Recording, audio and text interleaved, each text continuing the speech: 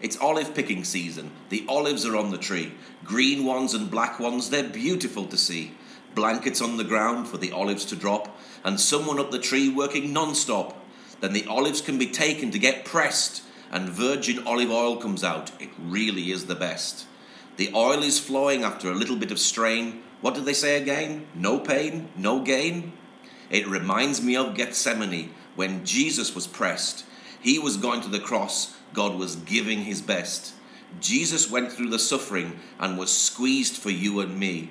Then he took the cross all the way to Calvary.